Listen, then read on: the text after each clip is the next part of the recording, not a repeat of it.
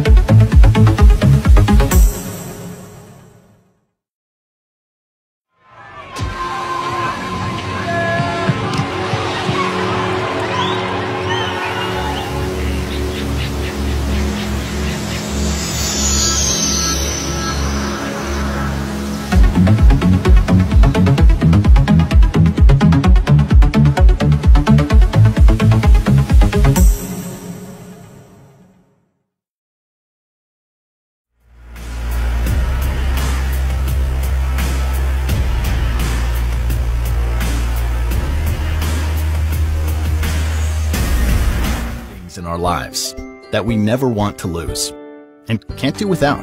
There's Tile, this simple little device that helps you find anything. Attach Tile to your things, and finding them is easy. Ring your wallet to find it wherever it's hiding, or use the Tile app to see where you left your car on a map. If it's your phone that you're looking for, press the button on any of your tiles, and your phone will ring, even when on silent. And if you lose your wallet, and it isn't where you last had it, Tile can still help you find it. Just ask to be notified when your wallet is found. And when any user in Tile's global network comes within range of your missing wallet, the Tile app will notify you of its most recent location. Tile, the simple, easy way to find the things that matter. Get Tile now and join the millions of Tile users who find peace of mind every day. Tile, find what matters.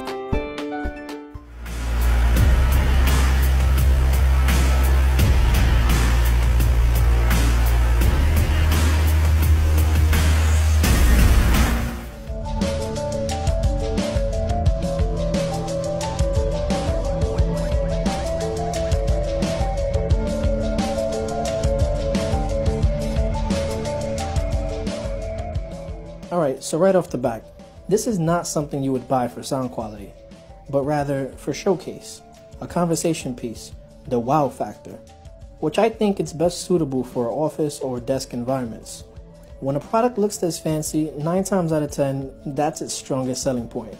In fact, there's not too much detail about the speaker's specs itself, besides the fact that it's only 5 watts, which that alone says a lot. But despite that, I think for what it is, it still sounds pretty decent. The speaker itself looks kind of like a Pokeball. If you've ever watched the cartoon Pokemon, you know what I'm talking about. It has a little weight to it, and that's largely due to the huge magnet on the bottom half of the device. I really like the blue LED accents, like the ring that glows around it, which is one of the first things that attracted me to it. Your speaker grills run across the top, with the actual speaker itself visible on the inside.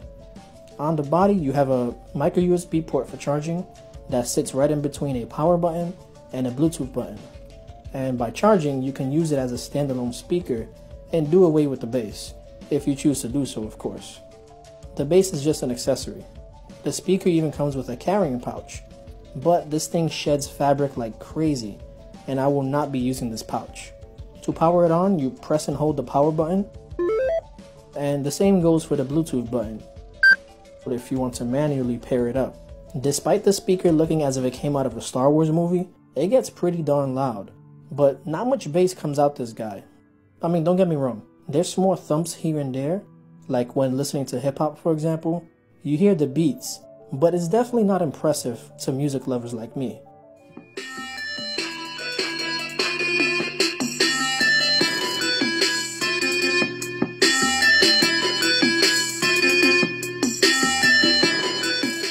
They do advertise that you get a sort of 3D surround sound effect when the speaker is spinning, but I didn't hear any difference. Alright, so let's get to the fun part, the actual levitation. The magnetic base has a brushed aluminum surface that's sort of satisfying to the touch if you ask me.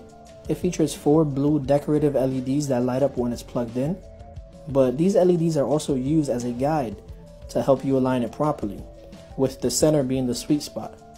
When all four LEDs are solid, it'll begin to suspend in the air thanks to its powerful magnet technology. When it's levitating, the momentum of the magnets allow it to spin on its own. And it just looks mesmerizing. I can't stress it enough. But you do have to play with it a little to get it there in the first place, because the magnets on the base are really, really, really strong. It basically snatches the speaker out of your hand. It actually scared me because when you powered the base off, the speaker snaps back to the surface with a tremendous amount of force. It's a little frustrating to handle, it's like a game to get it right. It takes practice, but I found that it's best to use two hands when aligning it. Now I can see why the strong magnets are necessary to achieve such an effect, but it's something that concerns me because I can't help but feel that the base will eventually get damaged over time, given the amount of force it consistently hits it. So that's something I'll have to look out for. Now what is pretty sweet though is that the speaker itself is equipped with NFC right up top center on the blue LED. So that's a huge plus when it comes to ease of pairing, and one that I'm quite happy about. You also get a kind of two-in-one product here, as the magnetic base is also a charging station, with a USB 2.0 port. Now as far as battery is concerned, it's a 1500 milliamp hour battery, and it's advertised for around 10 hours of playback time. And I'm here to say that it actually performs close to it. I got an average of around 8 hours of use at a pretty decent volume, just a little bit more than halfway. Speaking of volume, I wish there were some volume buttons on the speaker itself. That's something I would have really liked to see. There's also no speakerphone capabilities, which I think would have been useful as well. Overall, it's a really impressive setup, and I'm always fond of futuristic style technology. I think they nailed this effect, and I do hope to see more mainstream speakers from top manufacturers use this technology. I think that'd be interesting to see.